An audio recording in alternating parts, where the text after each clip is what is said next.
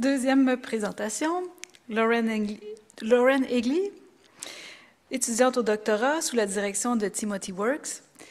Forest harvest causes rapid change of material investment strategies in ground beetles. Uh, Hi, everyone. So over the last few years, I've been looking at how rapidly remnant populations recover after harvesting. So I thought I'd start with just a quick overview of one of my studies, which is um, how ground beetles have recovered in their biodiversity over 20 years, which was part of the SAFE project. And then I'll spend the rest of the presentation talking about my recent follow-up, about how CPRS harvesting can cause um, rapid evolution in remnant populations. Uh, Both parts of my study took place at the Lake Duparquet Research and Teaching Forest, which is just 40 kilometers north of here. The SAFE project, which I would guess a lot of you are familiar with, uh, started back in the late 90s when hardwood, mixedwood, and softwood stands were harvested through partial cutting as well as um, CPRS, and then also some additional manipulations of logging residues like um, whole tree harvest or uh, prescribed burning. In this project, we collected ground beetles every five years, and over that amount of time, we have collected and identified 70,000 ground beetles. Here's my fancy regression tree, but uh, I'll just give you guys the bottom line in the interest of time. Um, In the hardwood stands, the one-third and two-third retentions recovered after five years. The CPRS recovered after 10 years, and the burn and whole tree harvest recovered after 20 years. And while that's good news, it's still a significant amount of time for the impacts of harvesting to be acting on these like remnant populations. So now I'll tell you about my follow-up study. Um, I'll show you through a series of experiments that CPRS harvesting can cause changes in the fecundity of ground beetles, so that's the number of eggs they lay or the quality of the eggs, as well as changes in the offspring's development and offspring survival.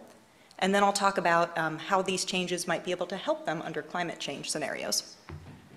So as we all know, climate, or, uh, CPRS causes a bunch of different changes to the environmental conditions.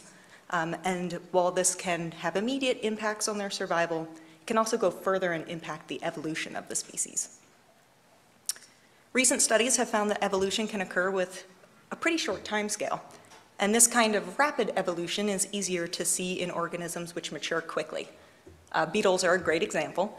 These uh, is the life cycle of beetles. Uh, the mature adults lay eggs, they go through a couple stages of larva, and then they pupate, pupation similar to when a caterpillar goes into a cocoon, but instead of emerging as a butterfly, they come out as beetles. Uh, uh, that whole process takes a little under a year, so you get a lot of fast turnover. Um, and this kind of rapid turnover, um, you really need to see that to be able to see evolution occurring on this short time scale. You can't really see it in something like mammals that take a lot of years to mature.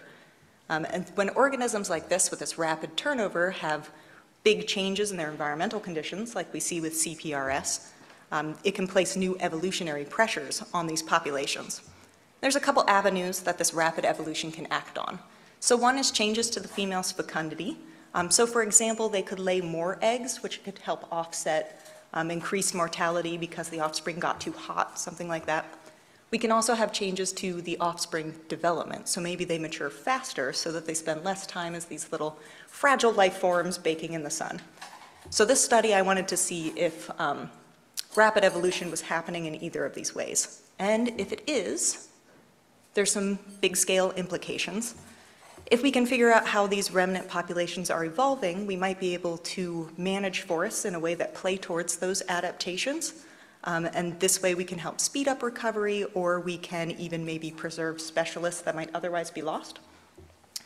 Additionally, if CPRS is causing rapid evolution in remnant populations that's helping them adapt to hot or dry conditions, that might help preserve these populations under climate change because they'd already be adapted to handle some of those situations.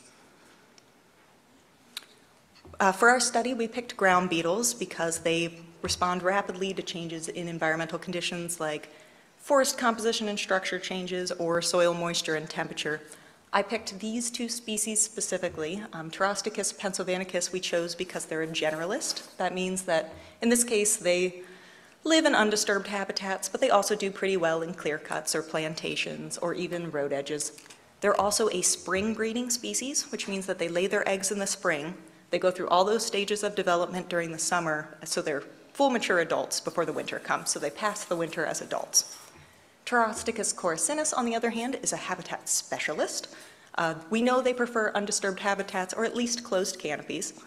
They're also an autumn breeding species, uh, which means that they go through uh, just the larval stage until winter. They overwinter as larvae, and then they don't mature to adults until the following spring. For this study, we uh, selected three uncut stands and three stands which were cut through CPRS five to six years prior to the study. In each one of those stands, we put 25 pitfall traps, so total of 75 per treatment. From those traps, the adults were collected every 48 hours. I then put them in pairs where both parents were from the CPRS or both parents were from the uncut stand, collected eggs every week, and then put all of those eggs in incubation chambers. Once the eggs hatched, I took some of those larvae and I reared them in a common garden experiment. That's when you take them and you rear them in common conditions adjacent to each other, and this allows us to kind of untangle the results, um, whether it's from the like parents' genetics or it's from the habitat. So for example, if you had larvae from CPRS parents reared in the same conditions as one from uncut and our CPRS developed faster, we would know that that could be something that they've adapted and evolved rather than they were just warmer or they had more food, something like that. Then I took another subset of the larvae and I reared them in a reciprocal transplant. A reciprocal transplant in this case is when we take larvae and we rear them in the same habitat their parents came from, but we also transplant other ones into the novel habitat.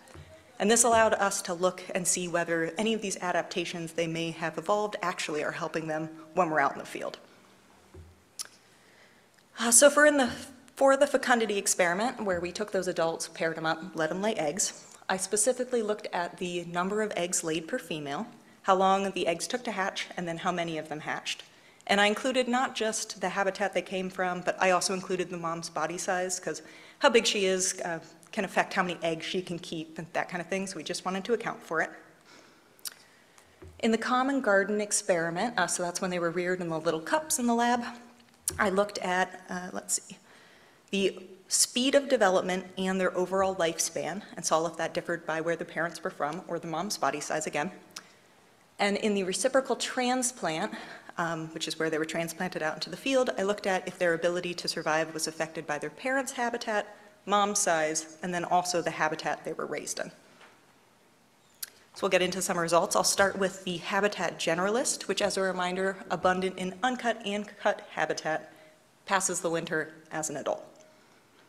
So for the generalist, we found no impact of the type of harvest or mom size on the number of eggs laid or the time it took them to hatch. But we did see that the offspring from or let's see, the females from the CPRS laid more eggs which actually hatched, and then also small females laid more eggs which actually hatched. Additionally, uh, we found a big effect of where the parents came from on how long it took the offspring to develop in the common garden. We found that offspring from CPRS parents developed faster. However, for the ones that were raised in the field, didn't really matter where your parents were from. Survival turned out pretty much the same for the generalist. Uh, so now let's talk about the specialist, which as a reminder prefers closed canopy and spends the winter as a larva. So for the specialist overall, we found that those small females from the CPRS invested a lot into their eggs.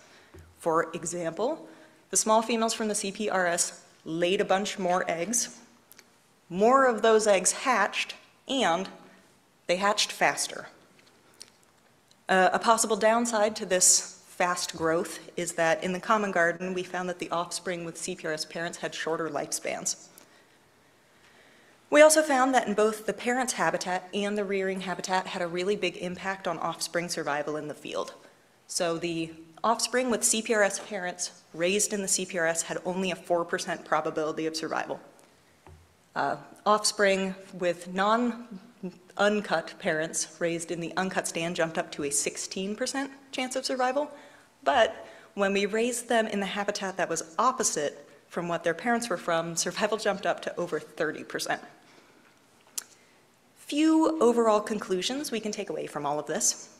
First of all, females from the CPRS do seem to be investing a lot into their eggs. They laid more eggs, they hatched faster, um, and more of them hatched. And the hot, dry conditions in the CPRS are probably causing the remnant populations to evolve this trait because If they mature more quickly, they spend less time baking in the sun as these little fragile forms. And that adaptation also points towards CPRS potentially helping these remnant populations survive under climate change because they've already adapted in some ways to handle these hotter and drier conditions. There is a potential downside to this adaptation. Females which invest more in their eggs um, burn more of their energy reserves, so could be fat reserves, or they actually can even metabolize their wing muscles if they need them. So while the offspring of the female probably have increased survival, the females themselves might be less resilient to any additional disturbances because they don't have these reserves built in. Another big trend we saw was that those best eggs, particularly the ones laid by the small CPRS females, um, came from the small ones. Conditions following CPRS are probably selecting for small females because metabolic demands really increase in insects with size. They also increase in the same trend with temperature, and because those increases are additive, if it's hot out, it's a lot better to be small and hot than it is to be big and hot because it's really hard to meet that greatly increased metabolic demand. And that's another way that CPRS harvesting could be pushing evolution in a way that could be helpful for climate change because we'd have more of those small females in the population which can handle it. In terms of how CPRS varied between generalist and specialist for the impacts, on the whole, we saw that the specialist did um, have stronger impacts. Not only did they lay higher quality eggs, they laid a really large number of eggs. Um, because we know the specialist prefers a closed canopy, it's probable that those first few years after CPRS are really stressful for them, so that would be a strong selective pressure to cause them to lay more eggs.